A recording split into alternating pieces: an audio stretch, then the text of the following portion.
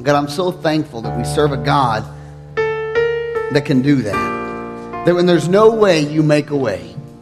God, I thank you for that. Lord, I pray, God, as we transition into the next portion of service, God, I pray I'd only say the things, Father, that you'd have me to say.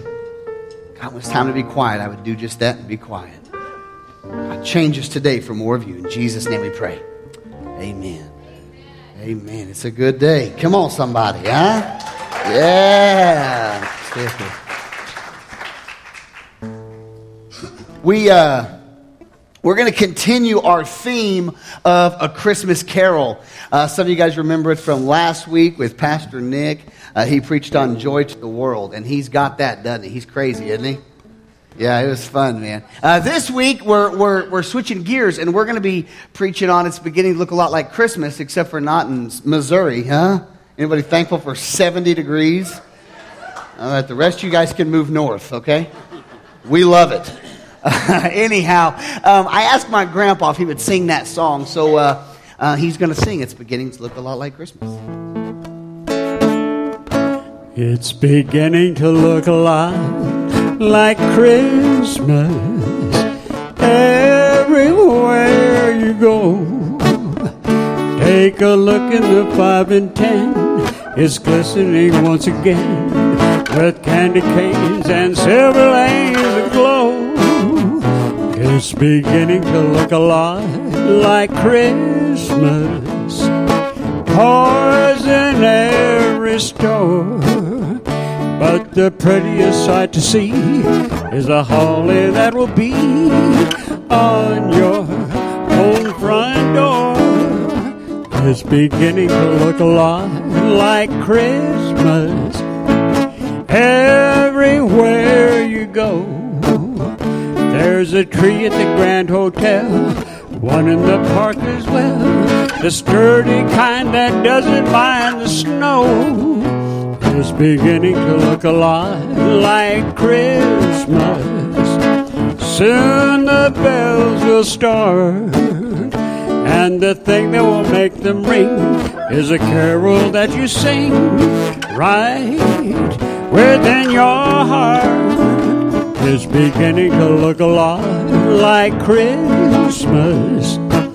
Soon the bells will start. And the thing that will make them ring is a carol that you sing right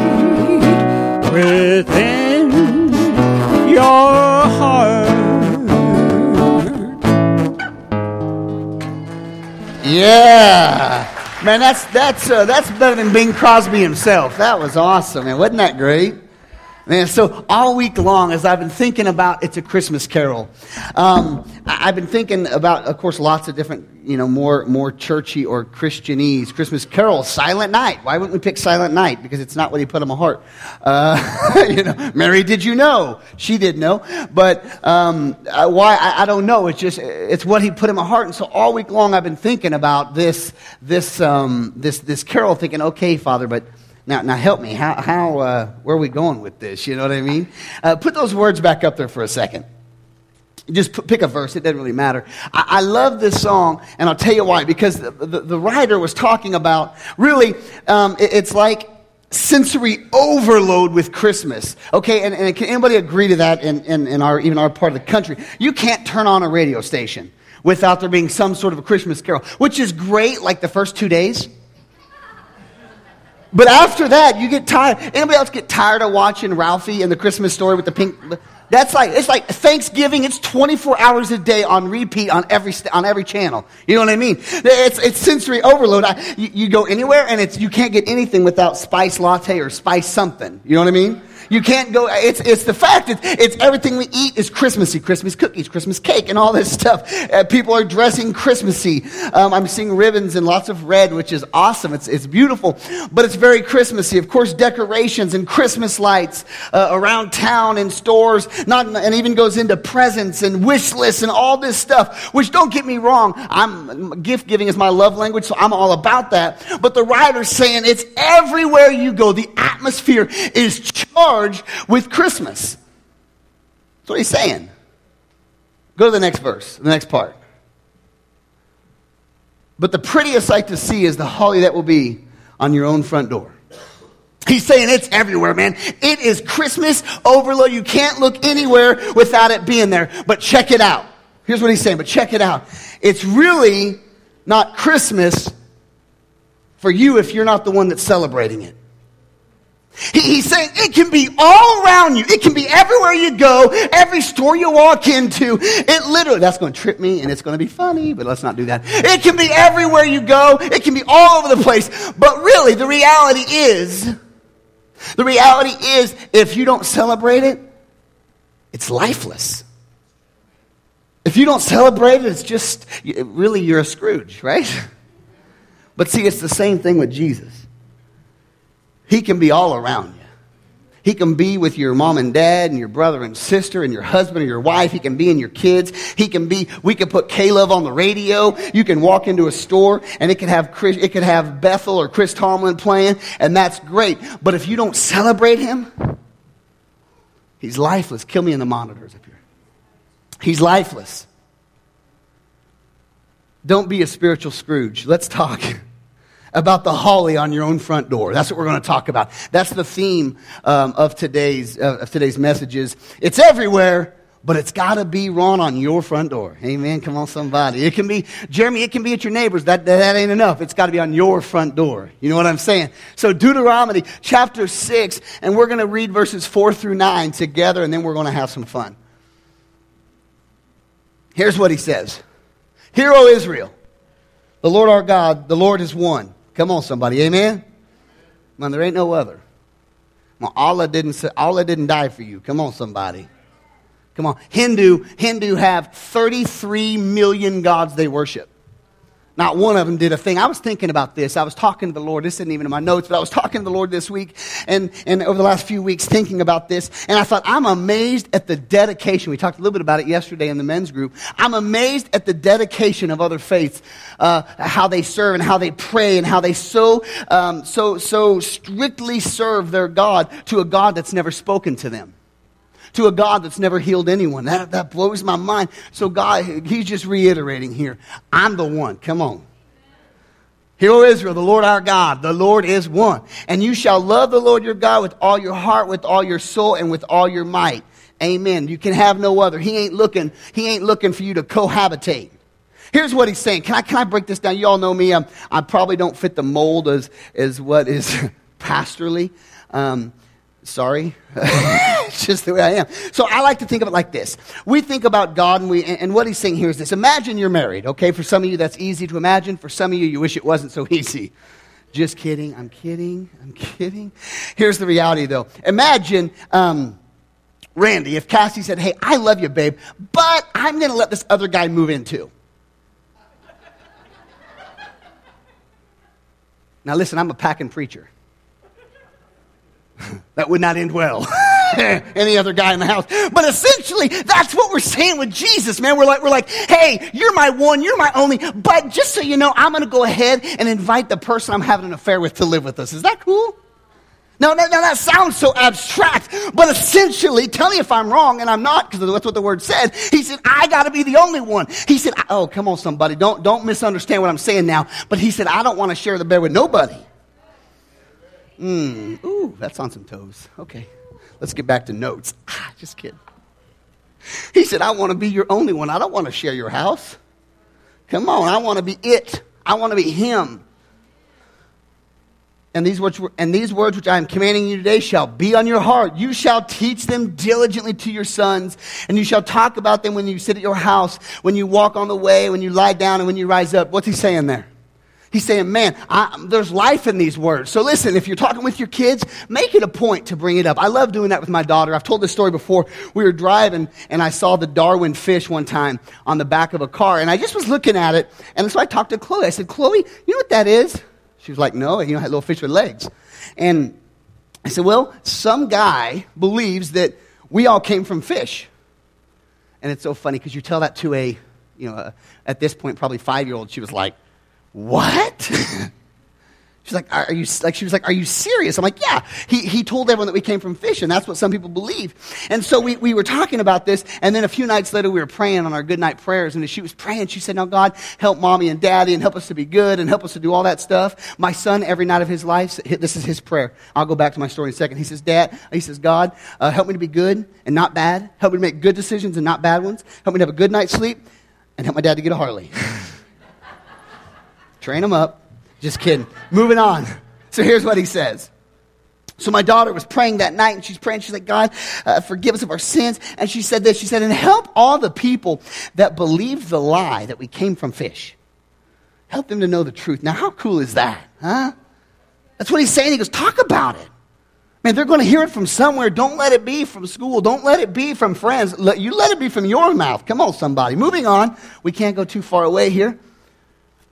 And you shall bind them as a sign on your hand, and that shall be on your frontal, on your forehead. You shall write them on the doorpost of your house and on your gates. He says this holly has to be on your own front door. It has to be active and alive in your life. You it ain't good enough. See, my mommy and daddy raised me right, but it wasn't good enough for their God to be, to, to be for me. He had to become real to me. He had to become my all sufficient sacrifice. He had to take my place. Him dying for my mom and dad didn't save me. Come on, somebody. I had to respond to that same word that they responded to. And he became mine. He says, listen, you've got to have them in your own life. So what they would have, they would have a thing called a phylactery. Even now in Israel, if you're over there. It, it's called a phylactery, which is a fun word. But basically, it's a leather strap with a box on the front of it. And they literally tie it to their forehead like this, and they walk around. Now, that's, that's a funny sight to see. Hey, what's up? Can you listen? God, I don't fit the mold. Can you imagine if you're single and you're trying to flirt with a girl? How you doing? Sorry. Okay. that's just a, that's a funny thought. See, this is what I that's, I can't get away from those funny thoughts. That's hilarious. Can you imagine if you're mad at someone?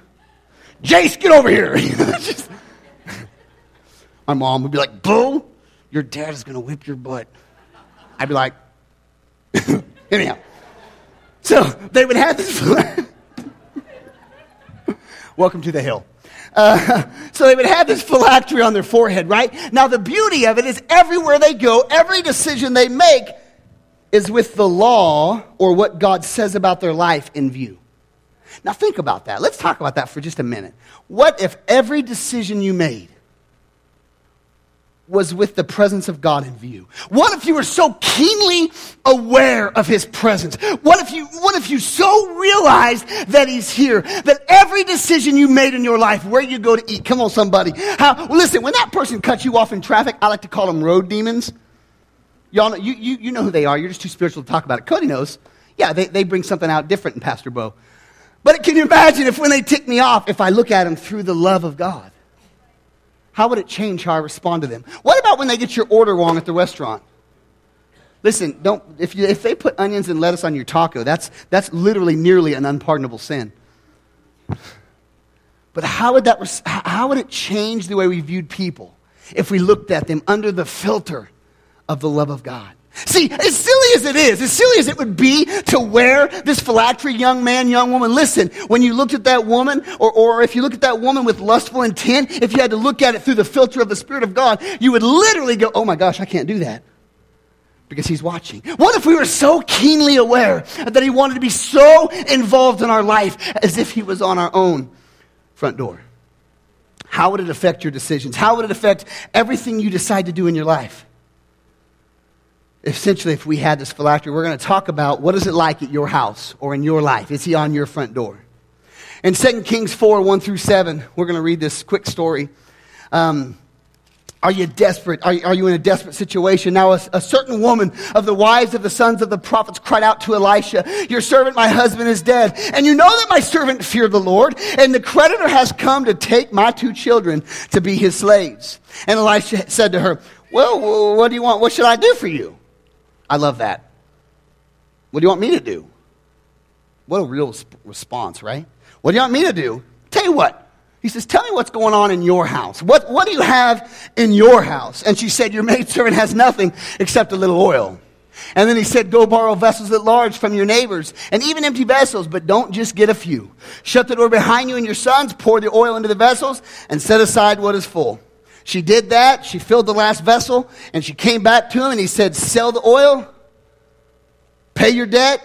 I said, Sell, pay your debt first. I said, Sell, get, get the cash, but then pay your debt, and then live on the rest. What a great word. She's coming to him. She's going, I've got to have, I've got to get the presence of God to my house because I'm in a desperate situation. My, my marriage is in trouble. My finances are in trouble. She says, I've got, I, am literally going to lose my children if his presence doesn't show up at my house. Something's got to change in the way I live, she's saying. So she invites him, but I love his response. She said, well, tell me, what's in your house? What you got to understand is the miracle is already in your house. Come on, somebody. What you got to understand understand is God put in you what he wants out of you. See, the New Testament says it like this. Already you have all you want. Come on, somebody. It's so important for us to realize that God has gifted us with things. God put stuff inside of us, but we're so, we're so concerned with what someone else has. We're so concerned with someone else's giftings or abilities. And the whole time the Father's going, wait a minute. What's in your house? He's like the, the capital, was it capital one? What's in your wallet? What's in your wallet? the prophet says, What's in your house? He said, Oh, I'm going to change your situation. I, he said, I'll change your situation, but I'm going to change it using what I've already given you. Wow. So often we're going, Well, man, myself, boy, if I preach more like Jentezen Franklin, if, if I sang more like, I mean, if I was more like this boss or this business owner, if I was more like this basketball player. Listen, when I was a senior, I wish I was more like Colton Brown. he can play. He beat up on me this week. If I was more like, if I was more, and he's going, wait a minute, the miracle's in your house. I've already birthed something inside of you to change the world. But he says you must initiate it with your faith. He says, go ahead, I'll, I'll hook you up but go borrow some vessels. Check this out. Your expectancy is everything. What if she'd have borrowed one vessel? That'd have been it. And they'd have took her sons. Oh, but she borrowed a bunch. That'd have been a it. bunch of vessels. And they'd have took her sons. Oh, but she borrowed a bunch. A bunch of vessels from lots of neighbors. She borrowed enough to take care of herself for a life. Now, I want you to understand the spiritual, the spiritual parallel here. God's going to do it. He's going to, He's giving you something that'll help change your world. But you initiate it with your faith. Oh, He'll act on your behalf, but not until you provoke His action with your faith. Often we're like, oh, I fixed my marriage, it's a mess. And then, then like, woman, get in here. That's not going to work. See, he says, I want you to provoke my action your situation, but provoke it with your faith. Do something about your situation. Often, matter of fact, the word says this, My God shall supply all your needs according to his riches and glory. There's confusion about that verse because we feel like that verse means, well, he's going to take care of me. And that's true. But what that verse means in the Greek is, he'll give you the ability to get work and make some coin. That's what that verse means. He'll give you the ability to make whatever your problem is happen. The miracle's in your house. The first thing you got to do you got to desperately need him in your house. I love the next part of this is the, part, the story of the Shunammite. So now there was, verse 8, now there was a day when Elisha passed over to Shunem, and there was a prominent woman there, and she persuaded him to eat food. And so as often as he uh, passed by, he turned over to eat. And then she said to her husband, verse 9, Behold, I perceive this is a holy man of God passing by us continually. Please, let us make a little walled upper chamber, and let us set a bed for him there, a table, a chair, and a lampstand. And it shall be when he comes by, he can turn in there. One day when he came in, and I'm gonna we'll tell that story. I won't read the rest of it. So here's what happened. She's, he's walking by, and this woman, okay, Shunem means double resting place. So, so the prophet is going there because he needs some rest. But it's so cool what happened here. She, he's walking by, and this woman said, Wait a minute, you got to come to my house. You gotta come to, you gotta come hang out with me. Now my grandma's kind of like this. If I go to her house, she like to shoot my woman. I could just have eaten like a, a, a huge buffet of food. I go to grandma's house and she's like, "You hungry, baby?" I said, "No, grandma. I am so full. You want a cheeseburger?" No, I'm still so putty over. Grandma, I could not eat want some chips? Grandma, I couldn't eat another plate. I'll be right back. Y'all know what I mean. You got it, Grandma. That's why guys come back a, like a three-course meal, and it's really good. My point is this, this was a prominent woman. She realized she had to have him in her house. It wasn't good enough for him to come on somebody. It wasn't good enough for him just to be in the town. She had to have the prophet in her house. So he, he shows up. I want you to notice what happened. When, when, when the prophet entered her life, it so affected her that it changed the way she lived. Ooh. When he shows up in your life, it should so positively affect you that it changes everything. You should see the world different. You should see people different. She builds a room onto her house because when he showed up, it demanded a positive response. See, it's don't, don't misunderstand me. It's not by works that you're saved, it's by faith. But James says, show me your faith and I'll show you my works. Amen. See here, basically, when we ask Jesus into our life, there's nothing we can do to earn salvation. But the minute we ask him in, we automatically, he puts it in us to do. We should become workers of the kingdom of God. All of a sudden, she was so impacted, she had to do something about her response. So he comes in and he says, Listen, what do you need? And, and her servant, his servant says, Well, they don't have a child. See, she had been depositing into his life, the prophet's life. And all of a sudden he wanted her to make a withdrawal. And he said, You've been depositing into me. What do you want? She didn't have a. So he said, All right, this time make sure you're going to hold the baby. Fast forward, the baby's 8 or 12 years old, something to right in there. And he dies. And I, I preach this story, I'm not going to spend forever. He lays, she lays him on the prophet's bed, she shuts the door, and she goes. Her husband goes, everything okay? She said, it's well. Someone else sees her and says, okay, it's well. Her whole response the whole time is well. But when she sees the prophet, what does she do? She dives and she grabs a hold of his feet. She grabbed the hold of his feet saying, I am not going anywhere till you come help fix my situation. Now, the reason she could do that, uh-oh. If you'll notice, the servant came to remove her. But the prophet said that the servant came, Gehazi came to pull her away like they came Caleb the balancer. He came to get the woman away from the prophet. But the prophet said, hold on, don't pull her away yet, because God's not shown me what her deep distress is. Can I tell you why the prophet allowed her to stay around his feet? Because long before there was the promise of a child, long before there was the promise of anything, she grabbed a hold of him and said, You've got to come stay in my house. Long before he had ever done anything for her life, she said, I've got to have something in my situation change. You've got to come to my house. Is the holly on your own front door? Thirdly, you've got to hide or protect him in your house. Joshua We put Joshua 2, 1 through 4 up there? Yeah, hang on a second. Did I put that on there? It's there. Just go ahead and read it. Here we go, Joshua 2, 1 through 4. Then Joshua the son of Nun sent two spies secretly from, uh, from the land of Shittim, saying, Go review the land, especially Jericho. So they went His name and was to the Rahab. house of a harlot. Of a lodged there. And it was told the king of Jericho, saying, Behold, the men of the sons of Israel have come here tonight to search out the land. And when the king of Jericho sent, to, sent word to Rahab, saying, Bring out the men who have come to you and have entered your house, and they have come to search out all the land. But the woman had taken the two men and hidden them from him. Uh, she said, I'm going to read that verse again. But the women had taken the two men and hidden them. And she said, Yeah, the men came, but I don't know where they're from. Wow. You have this prostitute. She shows, these people show up at her house, which wasn't uncommon. You think that was by chance they showed up at the harlot's house? Was, wouldn't have been uncommon for visitors to show up at her house. They show up. I love this. They show up. Lots of people wanted her for who she was, but not these two. They went past who she was, and they saw who she was created to be. Can I tell you, that's when the Father comes to your house, that's what he does. He don't come for who you are. He comes for who you were created to be. I imagine this woman. She opens the door and these two guys walk in. Business as usual. Business as usual. It's normal. But all of a sudden, they weren't after her.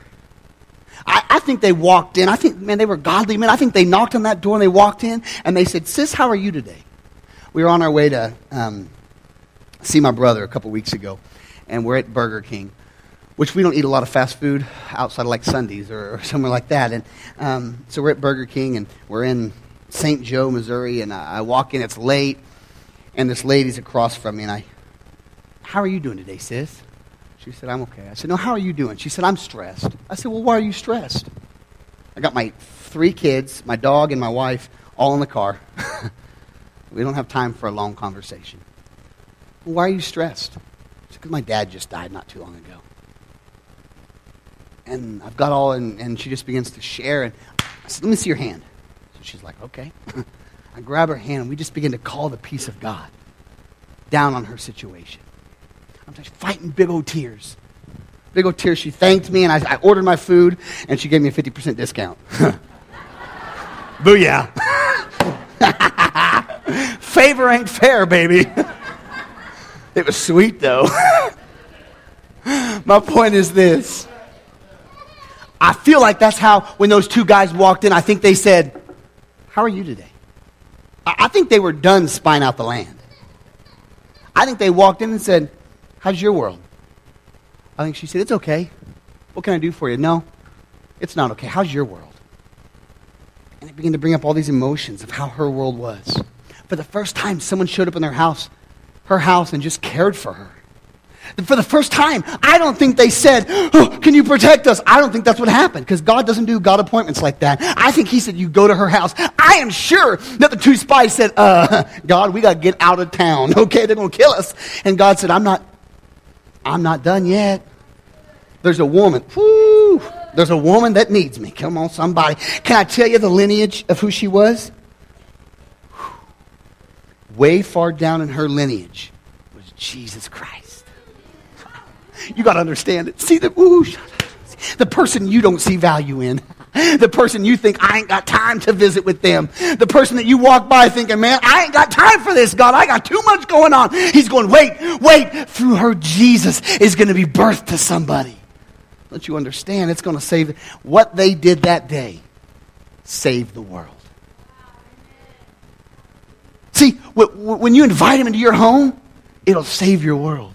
She, she hid him. Now, yeah, no doubt they were, they were coming to catch, capture them. And when they walked up, she had hidden them, I believe, in the, in the, the flax on the roof. So she had hidden them. Now, check this out. Psalm 119 says, I'll hide your word in my heart, O God, so that I don't sin against you. Are you, is he precious? You hide what's precious.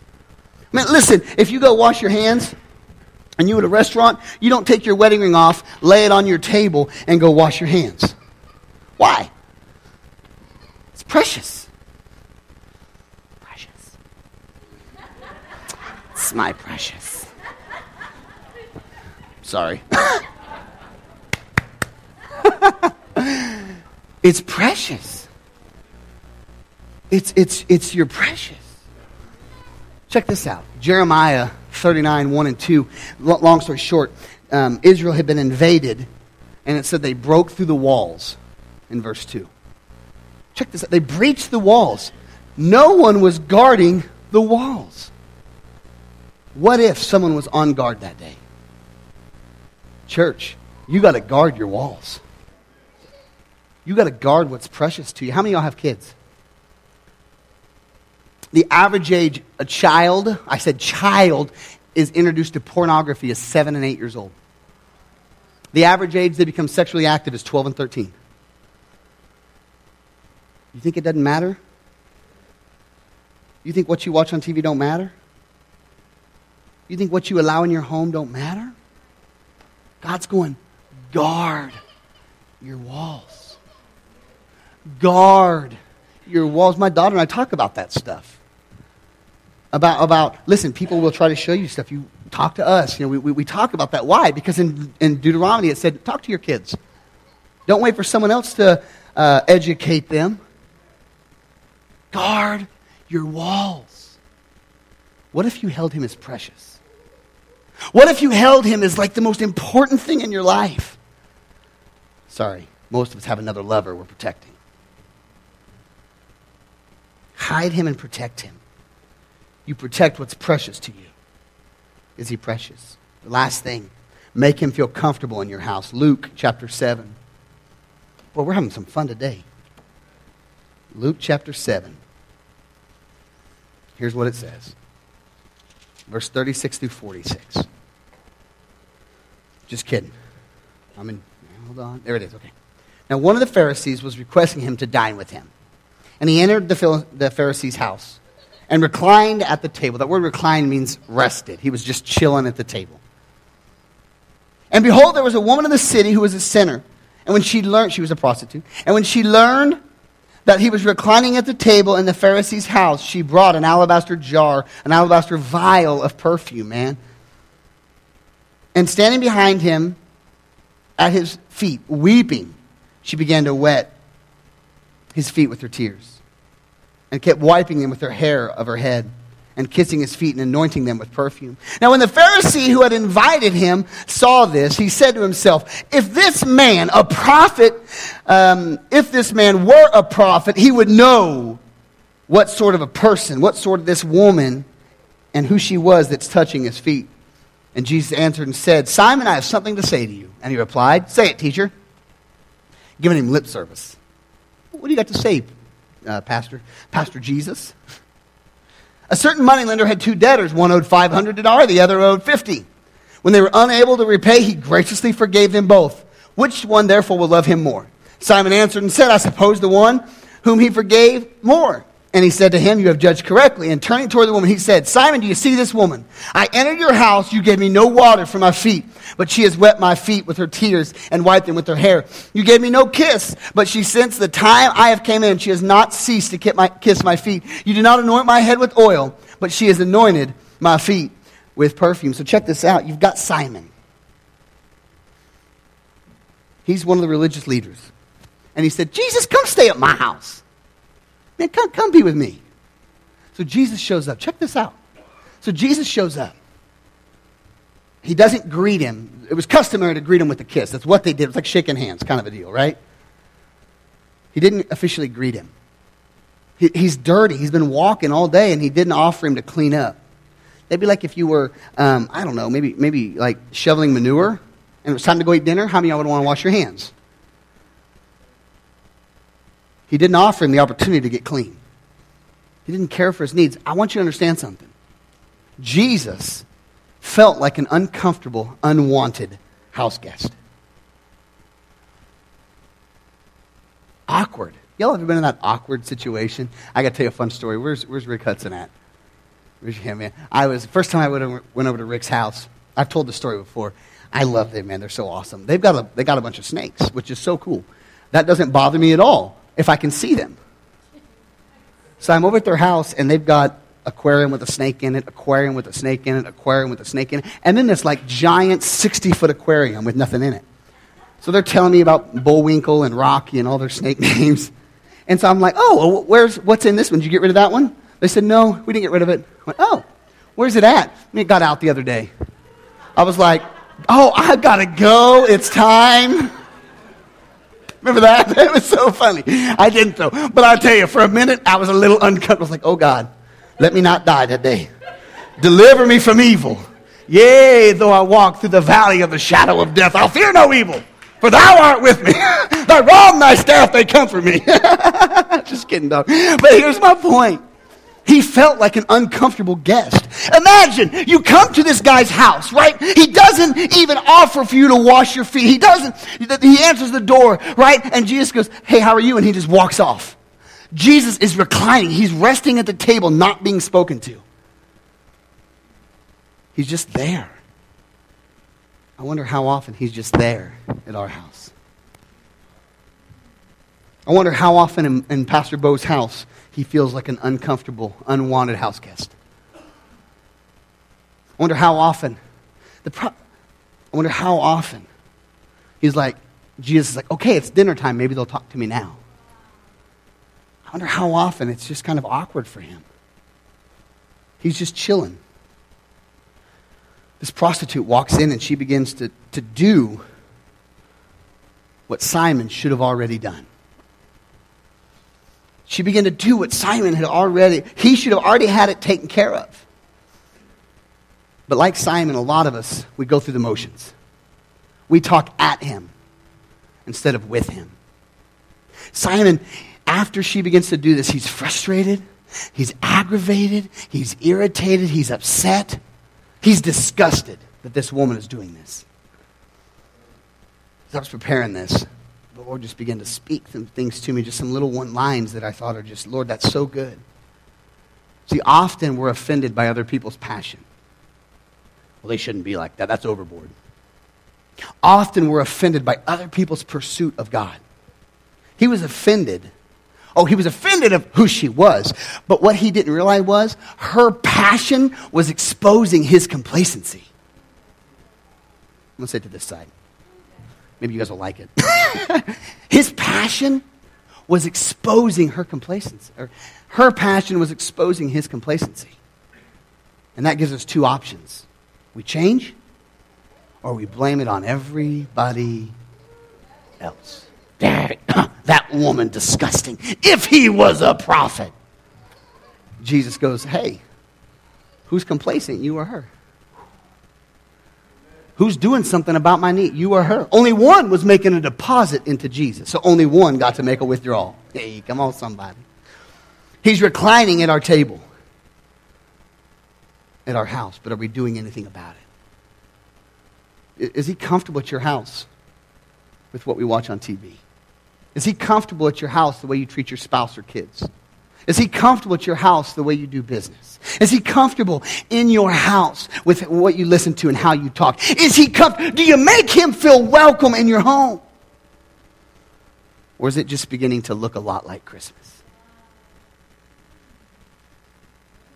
Is it just looking in your world like Christmas?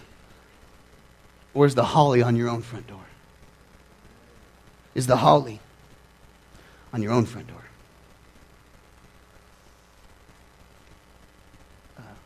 Heidi? Is Heidi in here? Yeah. Question simple. I, am not, I, am not, the Lord just so spur, spurred this in my spirit this week, this whole song, and I'm going, God, I don't see the spiritual symbolism until last night. He goes, oh, here it is. For many people, I'm not on their front door. For many people, I'm in the atmosphere. For many people, I'm in the atmosphere when they're here and they feel free. But when they get home, they don't understand why they feel bound. You desperately need him. The first point. You need him to stay. Hold on to him and never let go. Hide him. Guard your walls of your home. Guard the walls of your life. And most importantly, make him feel welcome. Make him feel welcome with the way you forgive. Make him feel welcome by the way you love. Make him feel welcome just by the way you entertain him. And I don't mean entertain like an entertainer, I mean entertain by the way you love and serve him. Church, we live in a jacked up world. We need him on our own front door. We need him in our house for our marriage. We need him in our house for our finances. We need him in our house for our love, for our parenting, for our for every area. We need him in our house. Would you bow your heads? It's beginning to look a lot like Christmas. But the prettiest sight to see is the holly that will be on your own front door.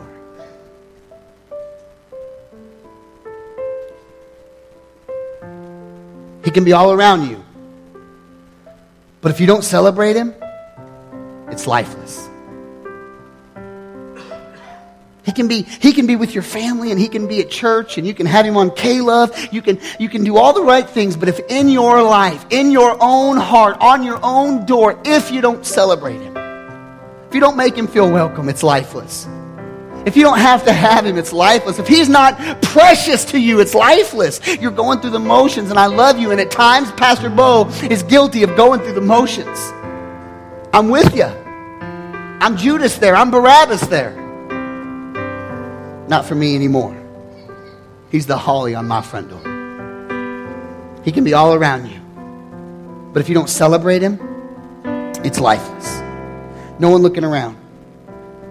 First and foremost, Jesus came to die on the cross for your sins, to make you right with Him.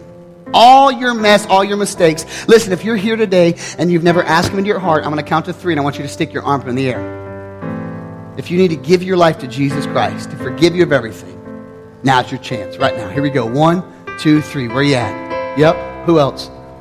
Who else? Who else? I'm going to wait just a minute. Stand up, brother.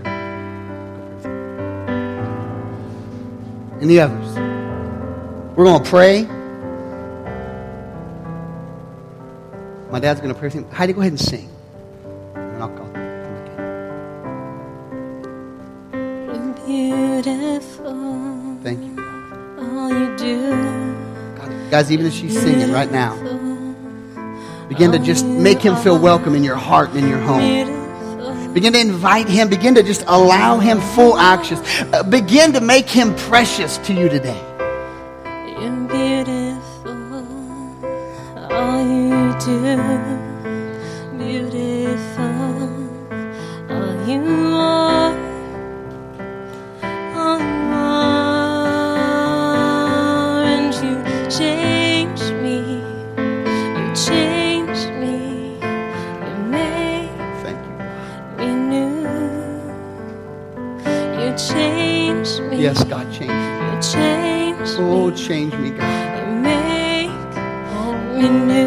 Make me new. That's awesome.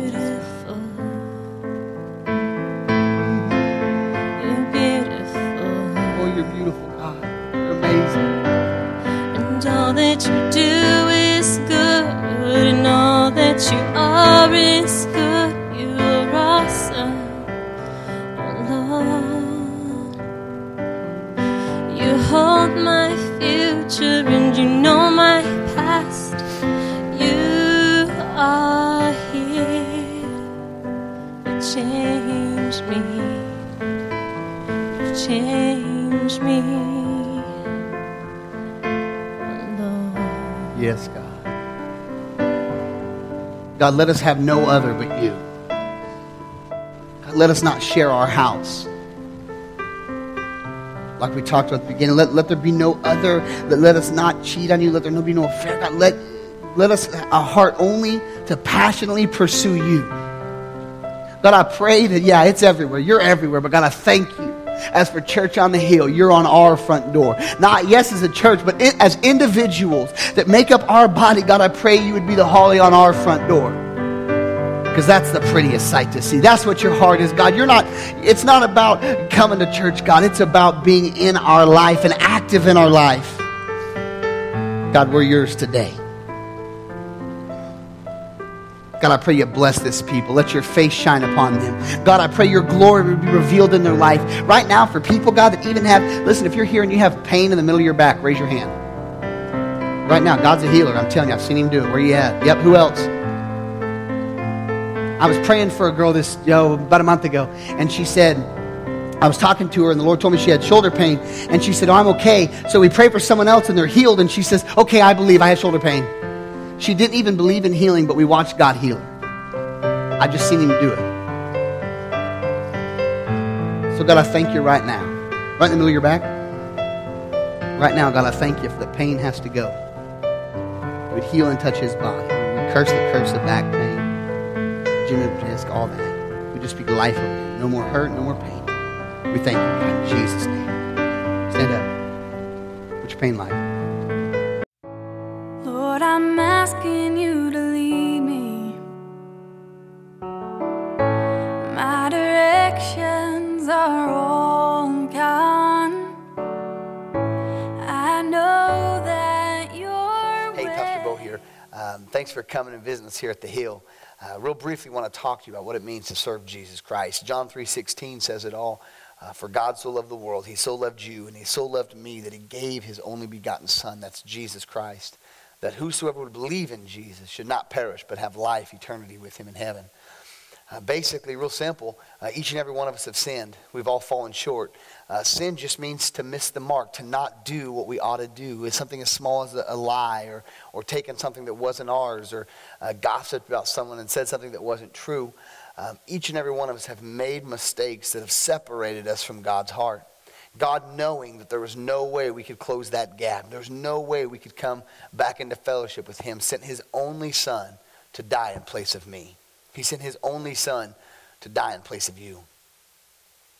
Imagine like a court case if you're on trial and, and Satan himself was accusing you of every sin and every mistake you've ever made, and the time comes for the verdict and, and they're about ready to send down your judgment or punishment, Jesus Christ stepped up and he said, I'll go in place of Beau. I'll go in place of each and every one of these. Uh, and he took our punishment. He bore stripes on his back and he died on the cross for stuff that I've done. Not that he did, he was perfect. But for my mistakes, he carried them for me. The Bible says that if I'll believe in that and if I'll confess with my mouth and I'll believe in my heart that he did that for me, that he'll wipe my slate clean it says that we don't have righteousness in and of ourselves, but when I believe that, when I believe that He could do that for me, that I begin to operate on His righteousness, which is perfect. And when I begin to believe that and operate on His righteousness, my slate's clean and I spend eternity with, with Him in heaven. Would you pray with me?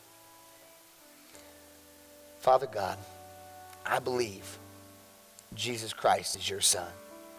He came, lived a perfect life he died on the cross for my sins, everything I've done wrong. He rose again. He conquered death and he conquered the grave. And he came to bring life, life, life, and more life. I thank you right now for, for forgiving every sin I've ever done. Anything I've ever done to separate me from your heart. I thank you that Jesus Christ died to take those sins away. I believe in him right now. I believe he's your son. He died and he rose again. God, today I give you my life. Come into my heart. Make me brand new. Wash me clean. I am yours. In Jesus' name I pray. Amen. say it with me. I am saved.